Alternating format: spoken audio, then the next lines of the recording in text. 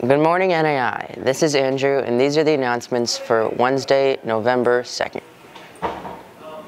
Today is an A Day. The Table Tennis Club has their first meeting today after school in the cafeteria until 4 p.m. All ability, all ability levels are welcome. Join us for some fun playing ping pong. Ladies, do you play a fall or spring sport and want to play a sport this winter that will help you get better at your current sport? Or maybe you don't play a sport at all and would love to join something.